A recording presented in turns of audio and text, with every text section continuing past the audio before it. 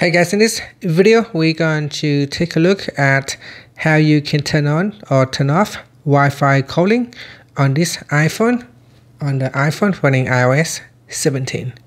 First, let's go back to the home screen by swiping up at the bottom of the screen.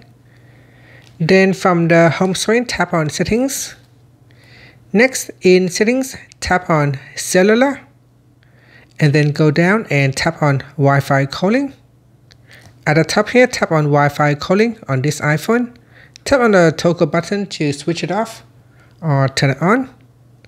Now when you tap on the toggle button to turn it on, there will be a pop-up. So tap on enable. And that's it. Now say here, make and receive calls over Wi-Fi with your network provider account.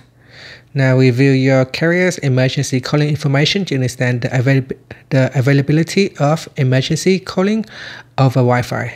And that's it. After you can tap on the back key to go back to settings, uh, swipe up to go back to the home screen. Thank you for watching this video. Please like and subscribe to my channel for more videos.